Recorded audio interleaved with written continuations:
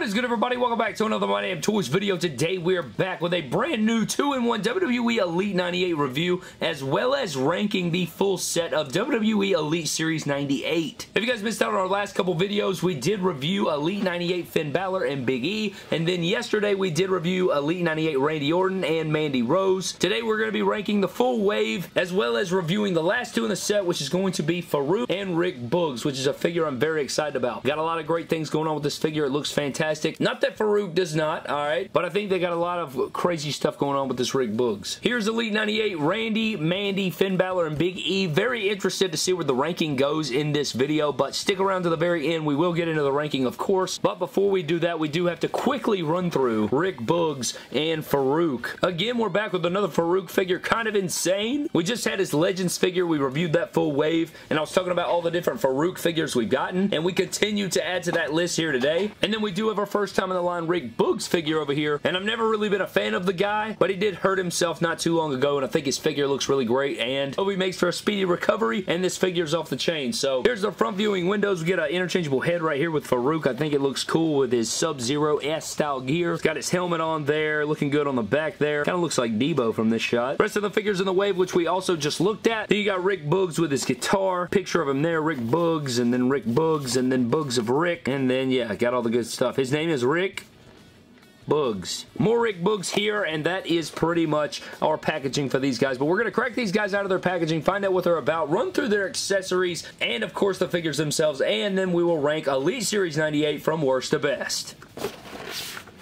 Alright guys, so here's Rick Boogs and Farooq out of the packaging. Of course, really liking what I'm seeing here. A lot of details in both of these figures, but I guess that's kind of a common deal nowadays with Mattel and WWE action figures. I feel like they always pour a ton of details nowadays into every figure. With the price increase, I think they have gladly matched the amount of detail and things that you get with these figures, and it just continues to get better and better as we approach Elite Series 100. Not that good of a series. But what we're going to do is run through Farooq's accessories and Farooq really quick, and then we'll get into Rick Boogs' accessories and Rick Boogs, and then we're going to rank Elite Series Series 98 from worst to best. Alright guys, so getting into Farooq Assad's accessories. He comes with two interchangeable head sculpts and then two pairs of interchangeable hands. Pretty self-explanatory. Now, the head sculpts are the exact same. I think they capture a pretty young Farooq. I think they do for a pretty good job here. Not just the best head sculpt of all time, but I do think the likeness is there. I like the helmet sculpt. It looks to be accurate for me. Like, obviously, this character is before my time being fully embraced into wrestling, but the silver helmet looks good. I like that this is kind of a soft material. You get the hair under there. You even get the straps coming on. So I like it. I think they did a good job here. Really nice and silver like the helmet actually was. And then you get the exact same head sculpt except for a light blue, kind of a powdery blue color, his helmet. So it looks pretty good here. I, I like it. A little bit of flesh tone right there on the edge of the helmet, but it is pretty much the exact same head with different painted helmet. And I like the sculpts and stuff of it. I think they did a good job there. But this is pretty much the bulk of the accessories, not including like the coat that's, or you know, kind of the attire that he wears over his gear. But there's that. And then you obviously obviously get interchangeable hands. You got the mic holding hands, which are missing the finger tape. And then you have his fisted hands. And something that I'm noticing about this figure, we'll get into in the comparisons, but it's something I noticed about it. But yeah, that's all for his accessories. Alright guys, so getting into Farooq Assad itself, you know, getting into the head sculpt here, we already covered it, but it does look good in proportion here. Going down, you do have the Sub-Zero S gears. Like, that's just what I think of immediately when I see it. You know, kind of Gladiator S, but Sub-Zero is what I think of immediately with the black and blue. You do have the black bicep bands on there. I don't know why they went with this formula instead of the same formula. I guess it's because this piece probably wouldn't fit over that gigantic torso that they gave him on his last Legends figure and then the Hall of Champions version of Farooq. But you do have the nice bands on there. He's very toyetic. You know, he's got a lot of good stuff going on. Again, this isn't removable, man. So, you know, the articulation is involved here. You can probably get it off if you wanted to, but I don't think there's a spot where you can, like, unclasp it and then, you know, take it off the figure. But got the Finn Balor S design here with the triangle in blue. You got the black trunks on there. Nothing underneath. Very quality figure, though. I like the arm size size. I like that. You got the blue knee pads, and then you do have the solid black boots. He is on ball joints, I'm pretty sure. I think overall it's a very, like, fun figure. You know, not like, eh, you know, not the figure that everybody just wants and pleads for, but I'm sure there's somebody out there that's been begging for this. Now, I never obtained the Hall of Champions Farooq, but it is cool to see, you know, the Acolytes version, this version, and then the Classic Elite 38 there. Really wish all of them were the same skin tone, but it would be cool to see a new APA Elite, like maybe a Elite 2-pack or ringside exclusive 2-pack or something something updated versions of these guys with double jointed arms, interchangeable hands, better play set of the APA setup, you know? Maybe some cards and some cans. I think that would be really sick. Nonetheless, it's cool to see these up next to each other, and I gotta, I gotta track down one of them, Ron Simmons. All right, guys, so getting into Rick Boogs accessories. His main accessory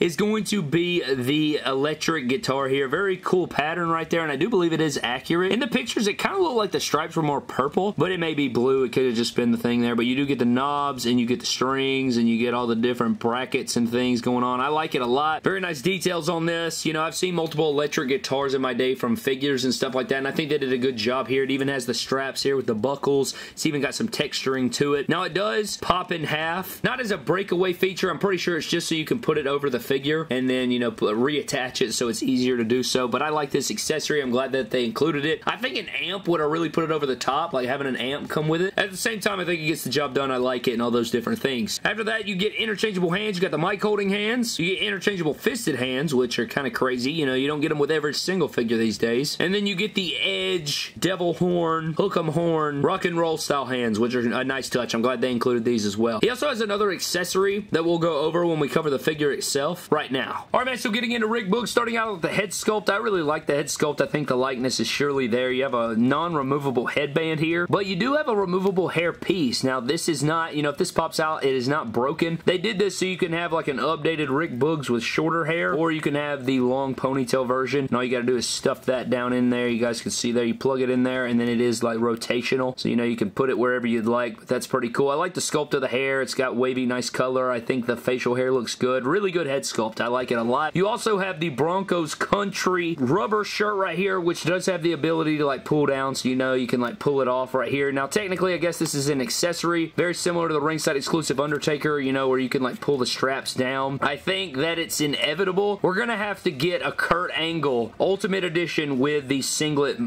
being able to get removed down there, but in all seriousness, he does have the Let's Ride in red font. He's got, you know, all the details and buckles on this thing, but it is cool to see the chest tattoo on there, and you can remove this and have him wrestle or pull the straps down, which I like this. I think this is definitely doable. I've heard that it's not durable long term, like it'll fall apart, but I think that it still works for the most part. I think it'd work better as cloth and spandexy, but I still like this a lot. I think that, you know, it gives you a different look, and I think an Ultimate Edition Kurt Angle with this technology would be pretty sick. I, I approve of it. You have the you have this sort of like jeans or denim style trunks going on there with the details and the shirt, and, you know, kind of that same material there. Got the R&B on the butt for rhythm and blues. You do have the cuffs. Got the thigh cut in there. You got the light blue knee pads, and then you do have these like, I'm pretty sure these are new boots or wrestling shoes right here. They're not the Jason Jordan mold, and I don't think they're the Kurt Angle mold. These may be new right there, so that is something to note. And I don't like how loose the peg is right there, but overall, this figure is very nice. I like it a lot. My leg was a little bit bent coming out of the packaging, so you may have to heat it up, get it straight, and then run some cold water on it to fix that, but really enjoying the figure. I think that the articulation is nice here. You know, it's it's buttery smooth. We don't have any Mandy Rose situations going on right here. Arms feel good, double jointed, bicep swivel, all the good stuff. He is on ball joint, so he can split. You got the upper thigh cut, double jointed knee, and he does have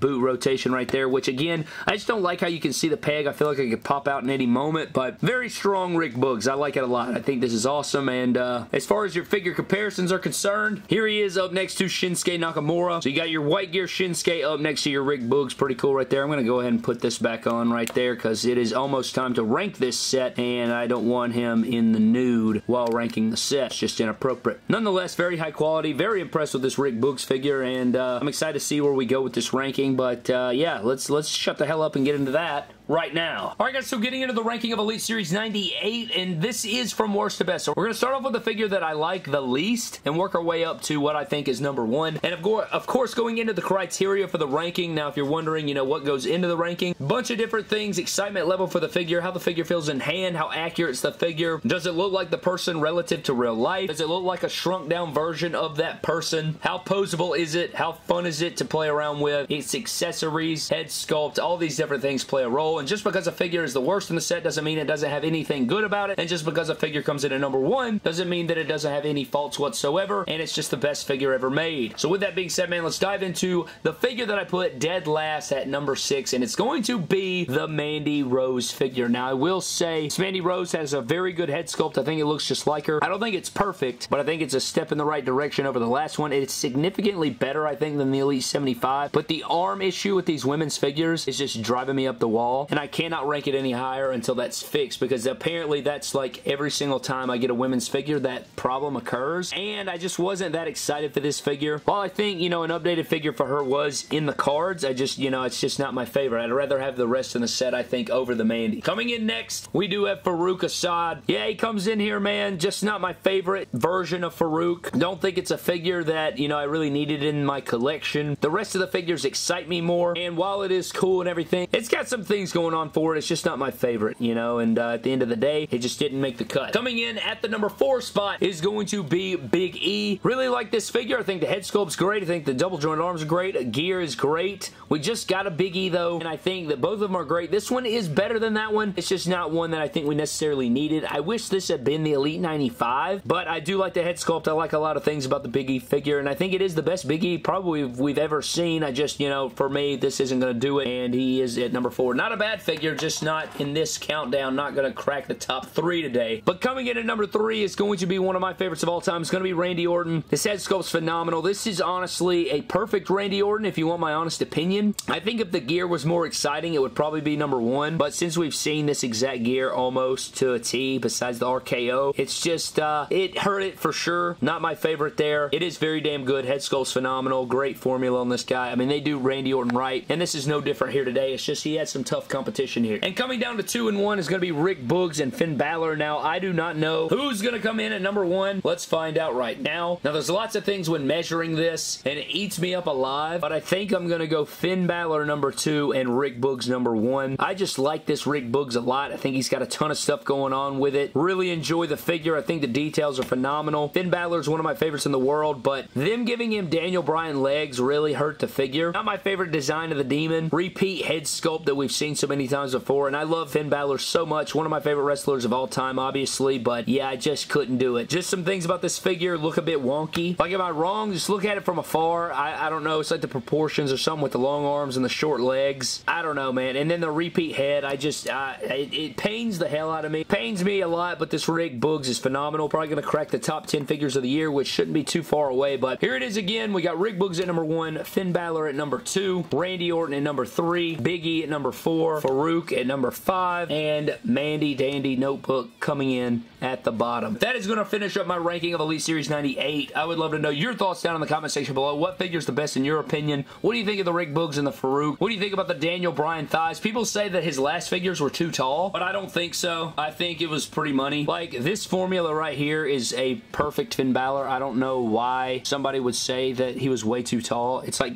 barely a notice. And like up to Randy Orton, like it gets the job done. You know what I mean? This is a really old figure too. The Network Spotlight Finn Balor. I just, I don't know, man. It made him way too small in my opinion. His thighs are pretty beefy, man. They, these look like little kid thighs or something. So, I don't know. I, I oh, pains me. But I'm getting out of here, man. Thank you guys for, so much for watching. Hope you guys did enjoy. Leave me your thoughts down below on it. I'm getting the hell out of here. Subscribe to the channel, and I'll see you guys in the next one. Have a blessed one.